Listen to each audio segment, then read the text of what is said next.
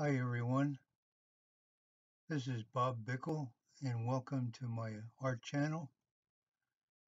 On this episode I'll be doing a scratch board and it will be a fawn.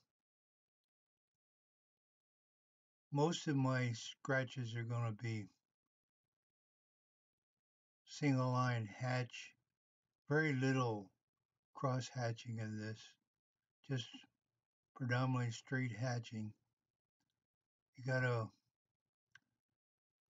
see where I clump my scratches to give the, the illusion of clumping in the fur of this fawn.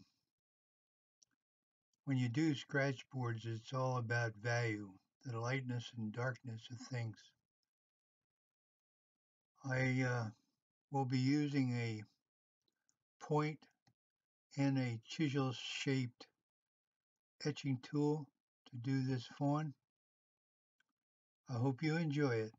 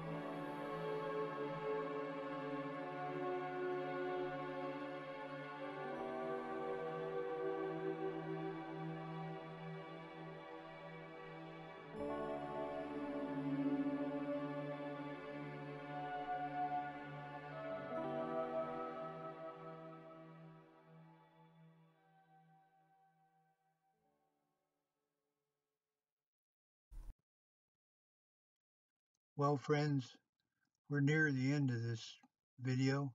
I hope you enjoyed it. And if you did, please give me a thumbs up. And if you're so inclined, subscribe to my channel and ring that bell. And until I see you again, I hope you do well. Bye now.